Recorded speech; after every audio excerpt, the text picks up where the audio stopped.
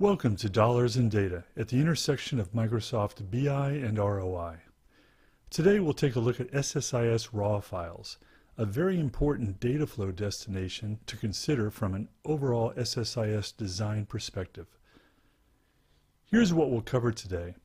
Keep in mind that this video will actually provide two packages on Microsoft's TechNet Gallery. One is repeated from a prior vlog and generates data and a raw file. The other is the package we'll demo today, which merely passes that data, 1 million rows, from one raw file to another. Links to those packages can be found in the YouTube description of this video blog. As some background, I'll mention that I rely on an SSIS framework in which raw files take the place of staging tables. Data only lands in SQL Server Data Warehouse tables when rows are ready to be placed in their final locations. True ETL in other words. And the framework quickly processes many millions of records and rows, detects early arriving dimension members, late arriving facts, efficiently handles type 2 dimensions, and much, much more. So I'm not a big fan of staging tables. To the first bullet's point here, they add additional objects, tables that is, to a solution. And keep in mind that there's overhead incurred when importing data into an RDBMS. The second bullet admits that perhaps your goal is to do ELT because you're much more comfortable with T-SQL than SSIS. Or there are valid reasons because of blocking transformations you think will run better in SQL Server than SSIS. Sorts are a classic example, though I've usually found SSISs to be entirely suitable for use. I understand these arguments, and there are times I would agree. When using the Parallel Data Warehouse slash APS Analytics Platform System or the new Azure SQL Data Warehouse, for instance, their designs really beg for SQL to be used in an ELT manner. Another time I would agree is when the logic is exceptionally complicated and simply lends itself to SQL. Maybe something that requires lots of windowing and other functions. But the biggest problem with avoiding SSIS transformations is that you'll be unable to leverage SSIS's catalog. SSIS cannot, of course, automatically collect metadata when work is done outside of it. And there's a wealth of features and information that can be captured by the catalog and reported on.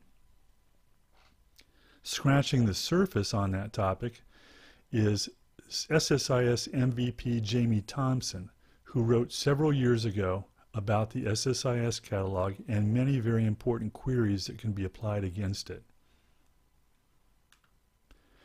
Now, ETL versus ELT aside, raw files also provide a great way to establish a quick and easy data lake. Now, the, de the definition of a data lake's changed over time here, but I'll go with the one that's shown.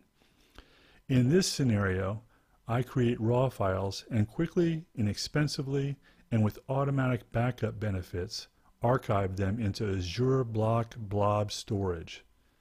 If you'd like the data stored in a non-proprietary format, an alternative is to create Avro files and archive them into Azure Block Blob storage. In fact, using SSIS to create Avro files for consumption by Hadoop slash HDInsight as well as Hive and Pig, is the topic of a separate Dollars and Data video. Having discussed pitfalls to avoid, here is a recap of our response. Feel free to freeze this video and consider the case for raw files that's been made thus far. Raw files are far from a secret, just very underutilized.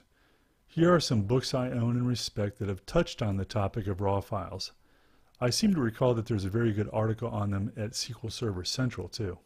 To wrap things up before we move to the demo, this slide hints at an important design pattern in my SSIS framework that you might want to consider as well. Number one, all packages are loosely coupled. I like to leverage pre-existing bodies of knowledge so any given package falls under one of four categories as described by Ralph Kimball. That's extract, cleanse, conform, and load or otherwise called deliver. For a given project, there could be multiple extract packages and cleansing packages, for instance. It could be that one extract package pulls in files, the other Oracle data. One package performs regex cleansing of column values, the other specializes in address cleansing with a Melissa data component. Over time, they form a library of packages that you can pull off a virtual shelf and mix and match. From a project management perspective, because they're loosely coupled through raw files, it's been easy to assign different packages to different developers. All they need to understand are enough table-driven aspects of the framework to perform unit testing. When their work is complete, their packages are easily merged into a system test. Refer to my earlier comments about what you can expect to find on Microsoft's TechNet Gallery. Here's the environment in which our packages were developed and tested. Let's move on to the demo which will be short because it just makes a point regarding how quickly data can be moved between raw files. Alright, let's start our demo by taking a quick look at a prior package that generates data that we'll be using for this video. We'll take a quick look at the connection manager to remind ourselves about some of the very basic information there. And here's a CTE that provides the data that we're going to be using that CTE has got a parameter that controls the number of rows that are produced. In this case, we'll make it 1 million rows. And I'll go ahead and start this with uh, Control F5 rather than F5. So no debugging, which we will see here in Task Manager in a bit, creates a DTExec process which is nice because it's 64-bit. If it were 32-bit, we see a, an indication of that as we do for uh, SSDT immediately above it.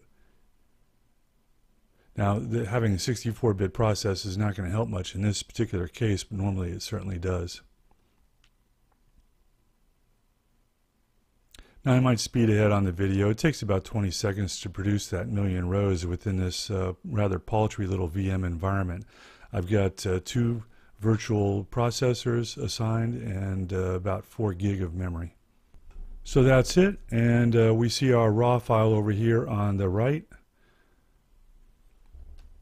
and now we'll go ahead and consume that. So here's the topic for this particular video, just a very very simple pass through almost uh, where we take the contents of one raw file and presumably do some processing and then dump the results, the resulting payload, into another raw file, uh, presumably for consumption by another package that's been daisy chained within our ETL framework.